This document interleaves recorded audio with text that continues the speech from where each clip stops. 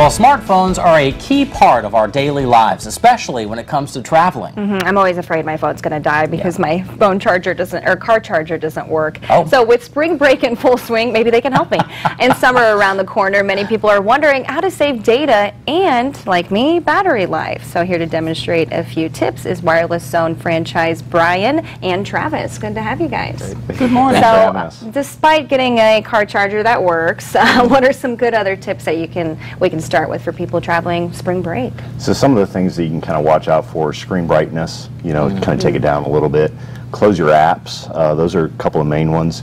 Uh, if you're not connected to Wi-Fi, turn it off or if you're not connected to Bluetooth, turn that off also because it's going to be searching. Okay. Yeah. And uh, what about roaming? We, you know, what exactly does that even mean, and how can sure. you avoid problems with that? Yes. Yeah, so for the U.S., continental U.S., Verizon is going to be covered, so you don't have to worry about that.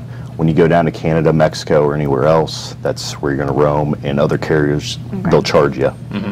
Yep. And I know one thing that's popular, one thing that I do a lot is I use my phone as a GPS. Mm -hmm. Okay, so that way I get the real world, you know, traffic data, and I know where I'm going. But I know that that can really eat up data. Any tips on how to kind of save your data while still using your phone for GPS? Yeah. So in the case for GPS, um, a strategy a lot of customers use is before they leave their home, they can download their uh, the map that they're using. So say they're going to Florida, or they're driving to Myrtle Beach or whatever it is, mm -hmm. you can get that map preloaded over Wi-Fi. Oh, okay. That way it'll work. It'll function throughout your trip, but you won't actually be use, using data.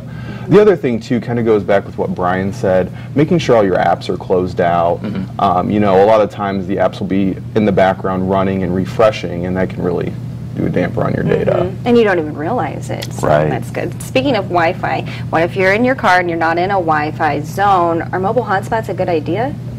It depends on your plan. Um, you know, we have our unlimited plans now, so really we try to get customers to go with that just because it's more cost effective, I think, mm -hmm. and you don't have to worry about it.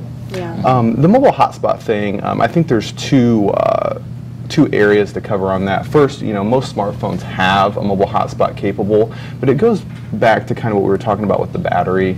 It's really it, it, really drains your battery quite a bit. So if you're going to be utilizing a hotspot, maybe a second device for that would be better. Okay, cool. And we also want to spotlight the fact that Wireless Zone has been uh, getting some national recognition. Let's talk about that a little bit. Sure. Net, uh, Net Promoter Score. So we're, we're really nationally known for our customer service. It's really unique. We're all individual franchisees. So we're in the store working daily. We really want to take care of our customers and really shine that way.